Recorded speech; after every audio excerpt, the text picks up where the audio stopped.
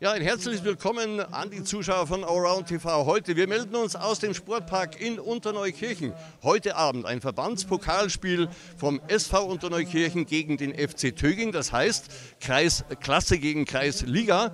Dieses Spiel ist heute zustande gekommen, weil die Unterneukirchner im ersten Spiel die Schneidseher schon geschlagen haben, sind dort mit 3 zu 3 vom Platz gegangen, danach im Elfmeterschießen gewonnen.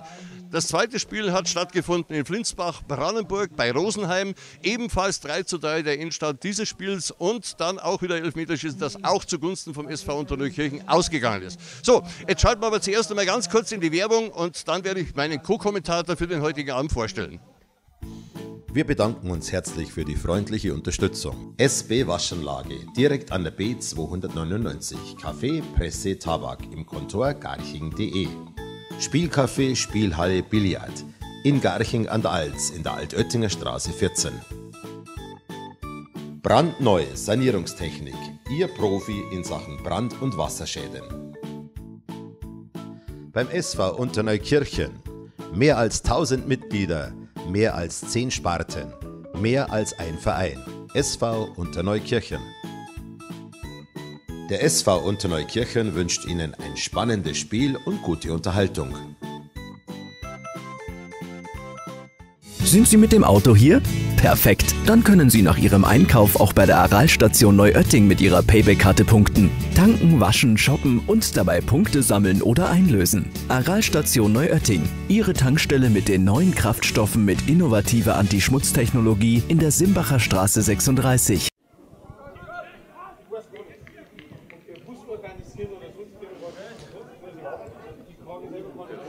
Und hier fast das 1 zu 0 für den FC Tüge nach einem Ballverlust im Mittelfeld. Der Gassenpass auf den Stürmer, der Daniel Schmid mit einem Heber überwinden wollte. Ah, die Versuche des FC Tübingen offensichtlich nicht ohne Grund. Ja, drei, zwei schnelle Außen, ein schneller Stürmer, die den Ball hinterherjagen. Jetzt ein Fehler im Aufbau des SV Unterneukirchen. Der SV Tübingen bringt den Ball vor die Kiste. Und der Abschluss von Simon Hefter wird glänzend pariert von Daniel Schmid.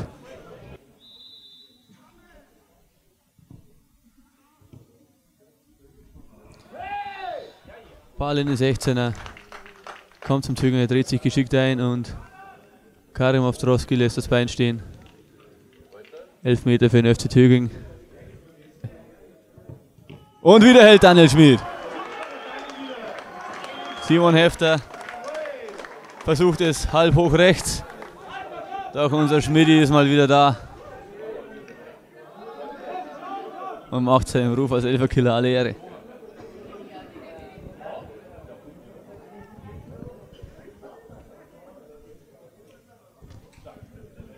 Jetzt der Eckball des FC Tübingen. Kommt hoch herein. Johannes Ofner kann klären. Zweiter Ball. Der rutscht über den Schlappen. Es geht weiter mit Abstoß. Und jetzt der Ballverlust Simon Hefter vom Tor. Lässt den Verteidiger vorbeirutschen und macht das 1 zu 0 für den FC Tübingen. Man muss sagen, das verdient der 1 zu 0. Wie schon gesagt, der FC Tübingen hat viel mehr vom Spiel. Ärgerlich nur für den SV, dass es nach einem individuellen Fehler in der Verteidigung passiert.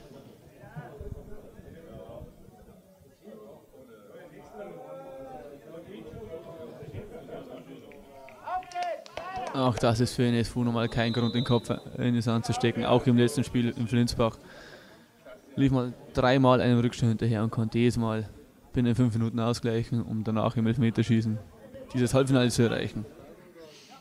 Also Comeback-Qualitäten hat der SV auf jeden Fall. Hier sehen wir eine gemischte Raummann-Verteidigung beim SV. Ja. Der Ball segelt durch und wird von SVU-Spieler unfreiwillig ins Ausgeklärt. Gibt wieder Eckball. Wieder baut der FC Tögen das Spiel hintenrum auf. Versucht den SV wieder etwas rauszulocken. Und dann das Mittelfeld zu bedienen. Ja, was hier eben auch gelingt, schöner Doppelfass im Mittelfeld. Sie bleiben am Ball, wieder lange Ball. Und da ist wieder Simon Hefter und steht wieder im Abseits. Und wieder die Spielverlagerung, diesmal auf die rechte Seite. Ja, und wenn der SV Unterneukirchen mal nicht rechtzeitig verschiebt, gehen eben auf Außen oder auch im Zentrum die Lücken auf, die sie nutzen und nutzen wollen. Jetzt der FC Thüringen über rechts. Die Flanke kommt gut. Und jetzt wird das wird die Schläfrigkeit ausgenutzt. Kein SVUler geht mit. Der Stürmer erscheint alleine vor Daniel Schmidt, umkurvt diesen und markiert das 2 zu 0.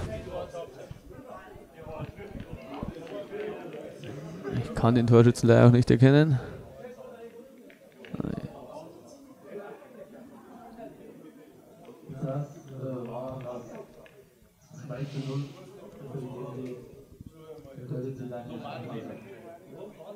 Laut Stadionsprecher ist der Torschütze der Kapitän mit der Nummer 10 Daniel Steinhauser.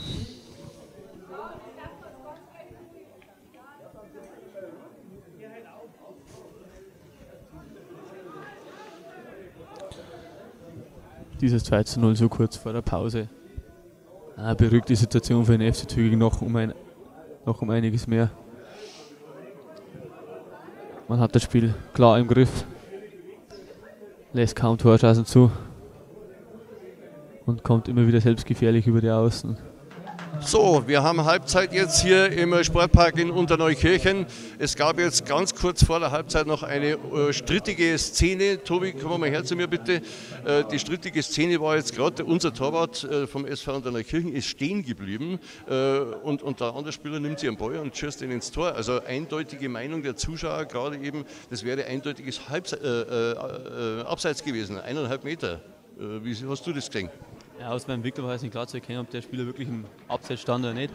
Äh, egal, wenn der Schiri nicht pfeift, hat die Abwehrspieler, haben die Abwehrspieler mitzulaufen und der Torhüter muss auch reagieren. Ja, da kann man sich nicht darauf verlassen, dass der wirklich im Abseits steht. Wenn der Schiri nicht pfeift, dann geht das Spiel einfach weiter. Du hast gerade diskutiert mit dem Schiedsrichter äh, über diese Szene ganz kurz vor der Pause, jetzt dieses 2 zu 0. Wie hast du das aus deinem Blickwinkel gesehen? Ja, von draußen ist sowas immer schöner zum Sehen. Wir sitzen direkt am Rand. Ich sagen, es war wahrscheinlich schon abseits, aber ich möchte ganz ehrlich sagen, als Schiri mitten aus dem Spielfeld werden wir es nicht sehen. Kann er eigentlich nicht kennen. Also die Zuschauer, ich war jetzt gerade mal kurz vorne noch, die haben also eindeutig gemeint, einschließlich unserem Stadionsprecher, es wäre abseits gewesen und zwar nicht bloß ein Meter, sondern eineinhalb. Ja, wie gesagt, ich wiederhole mich. Ähm, vorher außen sieht man es wirklich schöner wie von drin. Das habe ich jetzt mit Schiri besprochen. Er hat auch gesagt, ja okay, es ist schwer, schwer zu erkennen. Das muss man einfach anerkennen trotzdem ein Lob an den Schiri. Äh, Sepp Hager, der Stadionsprecher vom SV Unterneukirchen. Normalerweise bist du eigentlich nur in Funktion, wenn die erste spielt. Heute ausnahmsweise mal im Pokal, gell? Ja, es ist ja doch eine Besonderheit, wenn äh, ein äh, Pokal-Halbfinale in Salzach U19 hier ausgetragen wird und äh, wir als SVU da noch mit dabei sind als Kreisklassenmannschaft, dann ist es was ganz Besonderes und äh, deshalb bin ich heute selbstverständlich vor Ort. Du bist ja auf deinem Sprecherplatz, jetzt haben wir gerade einmal das 2-0 äh, gesehen. Äh, vielleicht kann uns die Regie gerade nochmal das 2-0 zeigen. Also der Richard hat gerade gemeint, das wäre also wirklich abseits gewesen. Du bist ja auch auf der Höhe gesessen. Wie siehst du das? Ja, es äh, war abseits, da brauchen wir eigentlich nicht groß drüber diskutieren. Äh, ich möchte aber dem Schiedsrichter da jetzt keinen großen Vorwurf machen. Bei unseren Flutlichtverhältnissen und bei einem doch relativ schnellen Spiel kann sowas schon mal vorkommen. Man kann unsere Verteidiger auch nicht ganz freisprechen von der Schuld, weil äh, deshalb darf er auch nicht so frei äh, da an den Ball kommen, der gegnerische Kapitän. Also äh, es ist immer knapp mit diesen Abseitsentscheidungen. Da lag der Schiri äh, mal daneben, aber ansonsten macht er äh, einen ganz guten Job hier.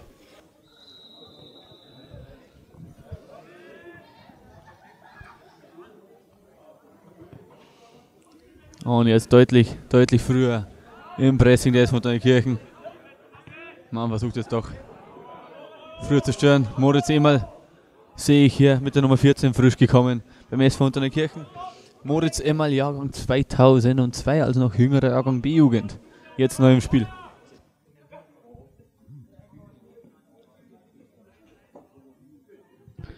Und Moritz Emal versucht einfach mal. Halblinke Position im 16er bereits. Kapitän Timo Bartel heizt nochmal an. Der Ball kommt flach.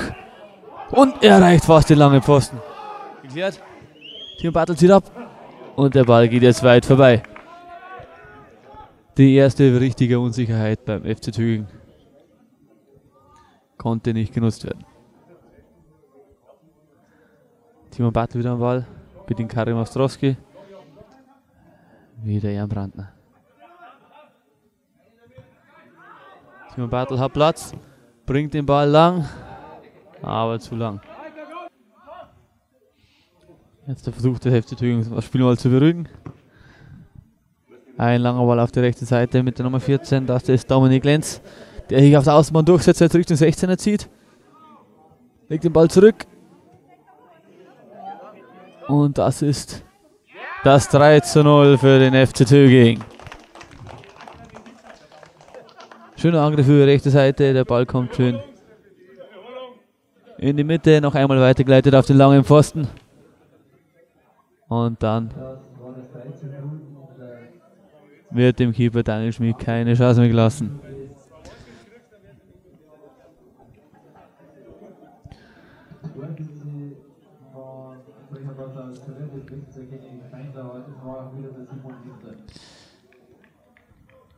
Und wie schon angesprochen, der auffälligste Mann beim FC Tübingen mit der Nummer 7, Simon Hefter, belohnt sich selbst für seine starke Leistung. Nach wie vor versucht es von der Kirchen weiter, sie laufen früh an, sie drängen ja, auf den Ball. Und jetzt, nach einem hohen Ball in die Mitte, holt Moritz einmal den Elfmeter für den SV Kirchen heraus.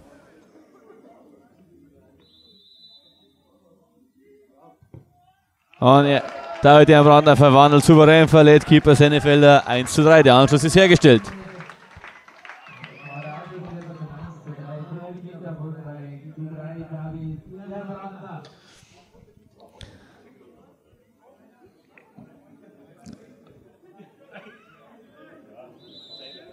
Und der ist von der Kirchen läuft sofort wieder an. Versucht sofort zu pressen.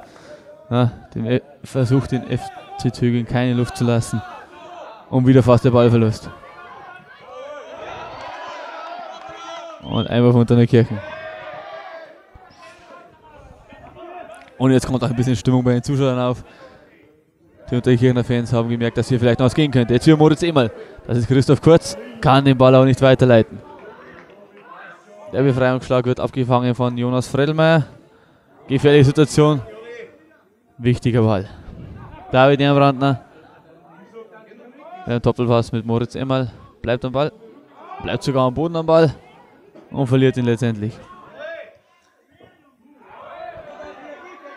Jetzt passt im Westen über den Flügel am Ball. Der Ball kommt auf Timo Bartel. Lässt noch einen Abwehrspieler aufsteigen. Bleibt aber dann hängen.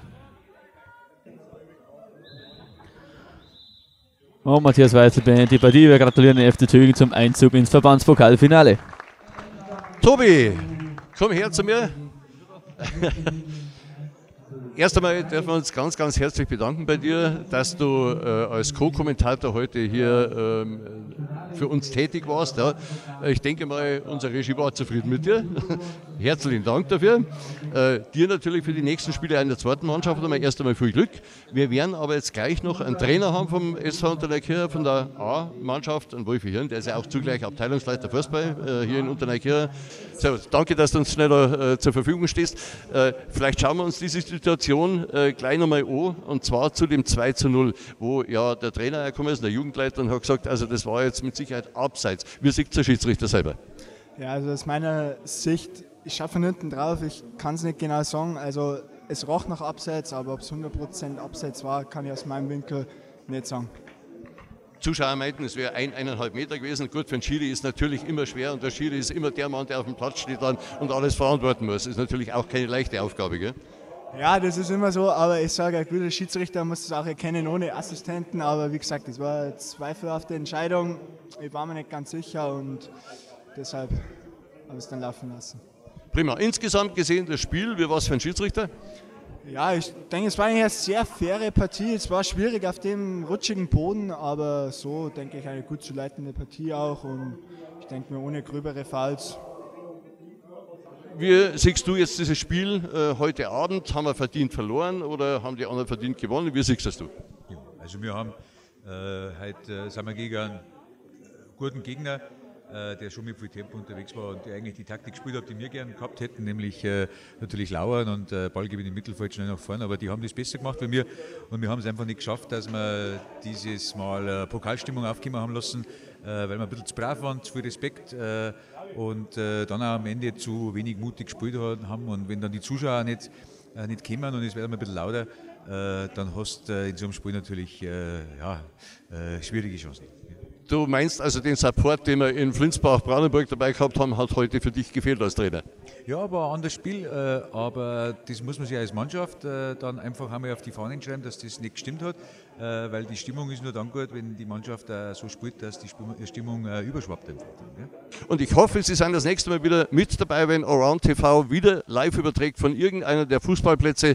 Sag Dankeschön, wünsche Ihnen schon einen schönen Abend und ciao, Servus. Thank you.